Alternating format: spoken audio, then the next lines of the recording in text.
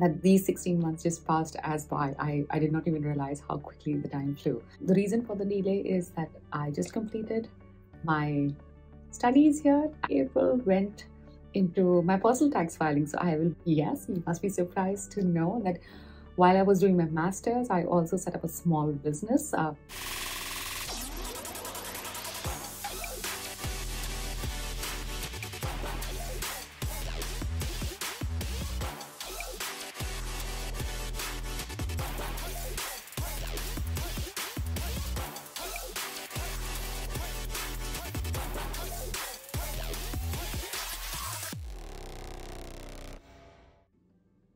Hi and welcome back to another video.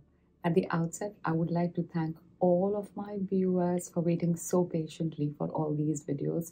I also want to thank all the subscribers who booked an appointment with me. I hope uh, I was able to address all your questions accordingly. The reason for the delay is that I just completed my studies here and I'm just so happy that these 16 months just passed as by. I, I did not even realize how quickly the time flew. Um, I was uh, fairly busy in April because I had to complete my final presentation towards the end of the semester. I had to submit my I had to submit my final report, and uh, then half of the April went into my personal tax filing. So I will be sharing a video very soon about you know how I ended up filing taxes not just for the year 2022 well which i was studying but also for 2021 even though i was here only for five business days. Only for five days.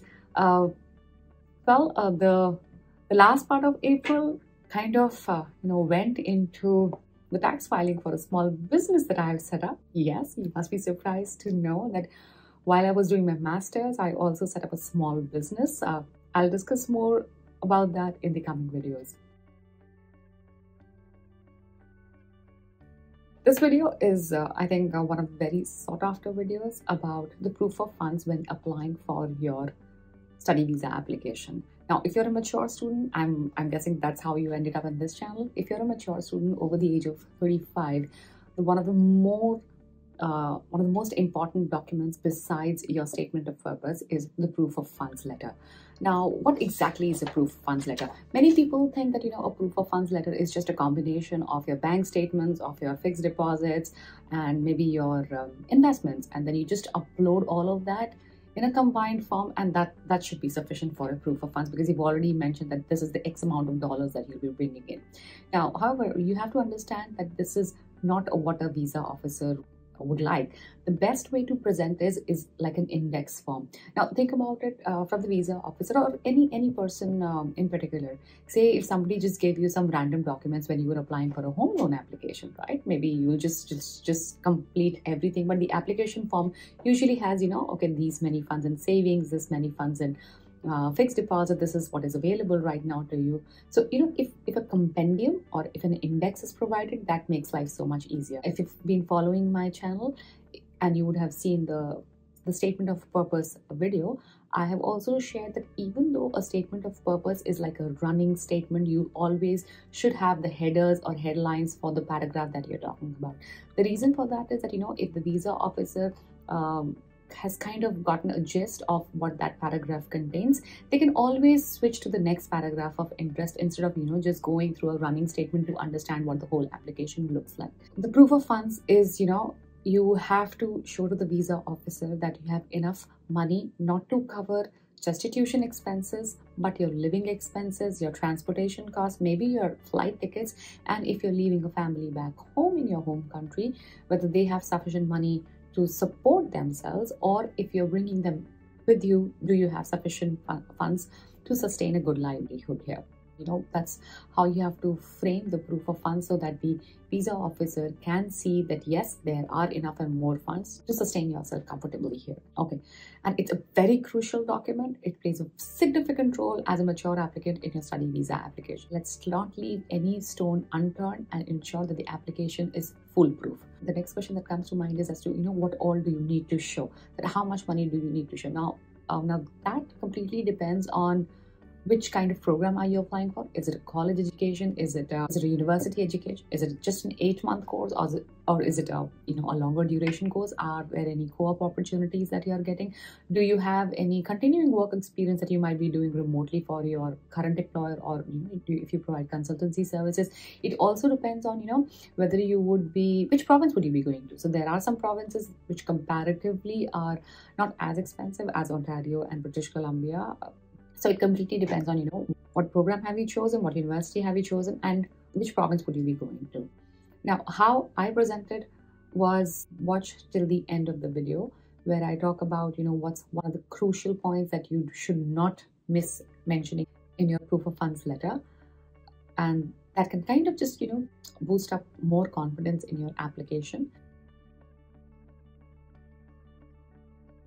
The part of the continent that I come from, keeping money in the savings account is like you know is is not considered wise right? So most of our investments except maybe for the liquid funds are always parked into some sort of uh, some sort of investments. And i had a similar case. I had parked most of my investments because i had no plans to study. Most of my investments most of my savings my salaries and savings were parked in um, you know long-term investments. Like i had my share portfolio i had my mutual fund stock portfolio i had my insurance portfolio as well and of course i had some property as well if you've been following my journey, you know that you know my idea was to first apply through express entry, and when that, that did not happen, I you know moved into the study permit. And at the same time, I was not very you know I was not uh, sure whether I'll be my application will be getting processed. So there was no point liquidating those investments and um, just parking them, you know, leaving them in my savings account. So when I got the admission letter from the university, I would say uh, early August, is only when I, you know, redeemed those funds uh, equivalent to some of my, you know, some of my studies. And then I parked that money into my savings account. Now that's considered a question mark as you know why where this sudden inflow of funds came in. So while I started explaining my proof of funds, the first and foremost thing that I wrote was that you know I am um, I'm a mature applicant and that uh, while I have been um, earning monies, I have always wanted to, you know, improve my skill set, go for my higher education, and uh, for that, I have dedicatedly been saving some money for my higher education or upskilling myself separately.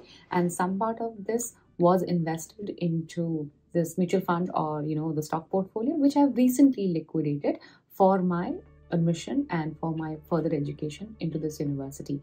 And I highlighted that you know this was a statement that was recently this was the money that was redeemed from my mutual fund portfolio to my bank account. So that gives a comfort to the visa officer that this money has just not, you know, flown from anywhere else.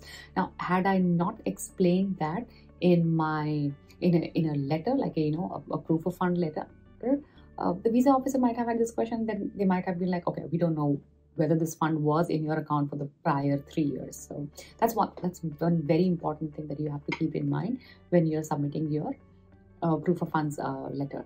So that's that's the foremost thing. I also mentioned that while I'm submitting my application for study permit today, I'm gainfully employed and I will continue to work till the time I join um, the university program. So, say when I put in my application in August, uh, my study program wouldn't have started in January, and I would have like five months of payroll coming in regularly. So, that's also a very important thing that you know you can always mention that the next five months of salary will be getting credited in your account. While you are not showing it um, here as a proof of funds, but that will be something which will be available to you as your savings kitty Coming back uh, to how I presented was while I did create an index, um, the proof of funds had first this explanation that I have been saving regularly and you know i have recently liquidated or redeemed some part of my investment portfolio and put that into my checking account. The second part was uh, the third part was a ta- table. Uh, as i mentioned that it's much much easier for somebody to look at a table than to you know read a running text. So as you can see here is what i showed. I was working then in singapore and i had my savings in uh, my singapore bank account and and then of course I had savings uh, in fixed deposit. Then I also held some money back in India. There was my Indian bank account, and then there were my Indian fixed deposits as well. Apart from that, I had my investments in HDFC Securities and Zerodha, and these were my stock portfolio, my mutual fund portfolios, which I was holding with them. I also had an interactive brokers account uh, where I held my international portfolio. So while I wanted to show my liquid funds, which were like you know readily available, I I mentioned that these are fixed deposits, uh, but they are available within a one day's notice that I can I can break these fixed deposits and redeem them at a and liquidate them at a one month's notice. The second part of you know the asset side I showed was my investments and not liquid, liquid investments per se. So that's where you know I showed that these are all in uh, mutual funds or I hold stocks of uh, large cap blue chip companies and uh, these can be liquidated if required in two to three business days time. But at the same time I also mention that you know while uh, these are blue chip stocks these uh, they should not be considered at the face value and their market value at the time of redemption would be dependent on what the market scenario at that point in time is. It was around COVID era when you know the Indian markets were moving, so my portfolio had a sizable chunk. Uh, you know, just to ensure that my application is stronger, so um, my parents had uh, some fixed deposits in their names. Of course, they are senior citizens, and um, well, you know, what they had done was they had instead of making us nominees, they they made us as a joint account holder in those fixed deposits. So I also mentioned that you know while my parent is the first holder in these fixed deposits, if required, she'll be more than happy to you know give me these monies uh, if if it's required. So I can also share a template with you. It's a, it's a very simple letter which says that you know while these are held in joint names and if required, I'm happy to support my daughter in her expenses in Canada. So these were the asset sides of uh, my investments. Now, coming um, on the liabilities side, I mentioned my tuition expense for the first year, my tuition expense for the second year, the living expenses for me and my daughter. This number keeps on changing, and IRCC updates it on their website. So the best would be that you know you can just pick it up from there and uh, use that number depending upon how many family members are you planning to bring in. If you are not bringing in your family members right now you uh, and if you're planning to leave your family back home if you have a working spouse you can just you know separately mention in a paragraph that you know your while your spouse is working the household expenses in india will be taken care of by by your spouse.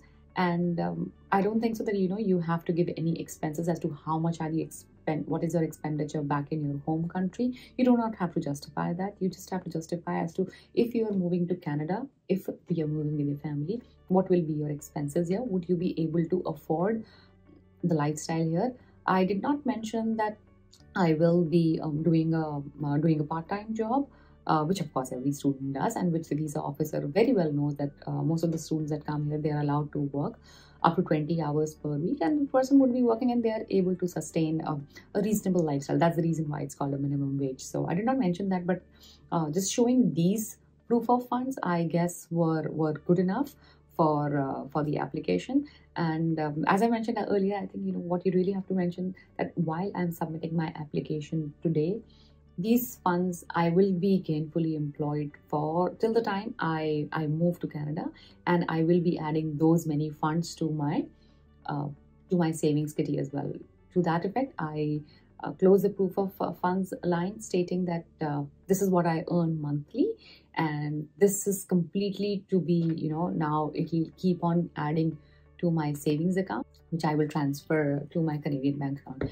Now, a few things that have to be kept in mind is that I, as I mentioned, that I had, I, I was in Singapore, so I could not apply through an SDS stream. I had applied through a non-SDS stream, and I did not have to submit a one-year fee or submit a GIC, which typically is required. However, if you're submitting a GIC, do remember to mention that.